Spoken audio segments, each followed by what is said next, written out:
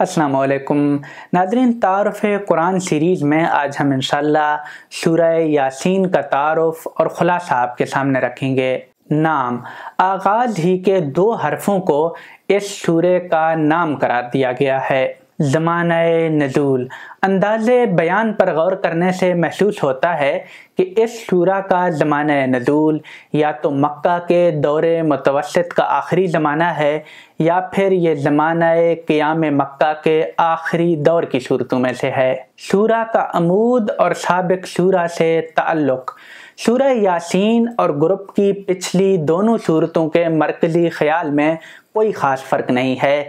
पिछली सूरतों में तोहद, आखिरत और रसालत के जो मतलब ज़ेर बहस आए हैं, इन्हीं पर इसमें भी बहस हुई है। अलबत् तफसील, इजमाल और नहज इस्तदलाल के अतबार से फ़र्क है। पिछली सूरतों के बाद मतलब इस शूरा में तारीखी और फितरी दलाइल से अच्छी तरह महकम और वाज कर दिए गए हैं। इसका आगाज़ इस बात रसालत के उसी मजमून से हुआ है, जिस पर सबक शूरा तमाम हुई है। और फ़लसफ़ दीन के नुक़ नज़र से गौर कीजिए तो ये हकीकत भी वाज तौर पर नज़र आएगी कि इसकी बुनियाद भी पिछली सूरतों की तरह शुक्र और उसके तकाजों ही पर है। सूरा के मतलब का तजिया आयात एक तबारा हज़रत सल्लल्लाहु अलैहि की रसालत का इस बात और आपको तसल्ली कि ये पुरहमत कुरान ख़ुद इस बात की सबसे बड़ी शहादत है कि आप अल्लाह के रसूल हैं और लोगों को सिरात मुस्तकीम की तरफ़ दावत दे रहे हैं।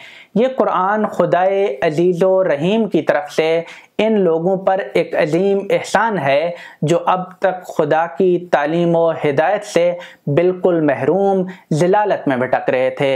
ये महज इनकी बदकिस्मती है कि इस तकबार के सबब से ये इसको झुटला रहे हैं। इनकी पिछली रवायात और इनकी मुस्तकबिल की आरजुएँ इनके लिए हिजाब बनी हुई हैं। इस वजह से ना ये माजी से कोई सबक ले रहे हैं और ना मुस्तकबिल का कुछ ध्यान कर रहे हैं। आप ऐसे बेफिक्रों के लिए ज़्यादा परेशान ना हों। जो खुदा से डरें और नसीहत को सुनें, उनको मगफरत और अजर अजीम की बशारत दीजिए। जो नहीं सुनते, उनका मामला हमारे हवाले कीजिए। इनका अगला, पिछला सब हमारे रजिस्टर में दर्ज है। हम इनसे निमट लेंगे। आया तेरह तबत्तीस। कुरैश की इबरत के लिए एक बस्ती की मिसाल, जिसके बाशिंदों के इंजार के लिए अल्लाह ताला ने दो रसूल भेजे।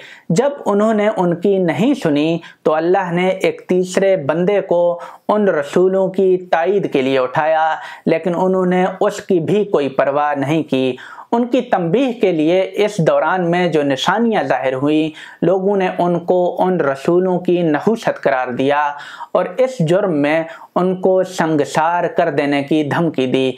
बिल आखिर अल्लाह ताला ने अपने अजाब से उस बस्ती को हलाक कर दिया।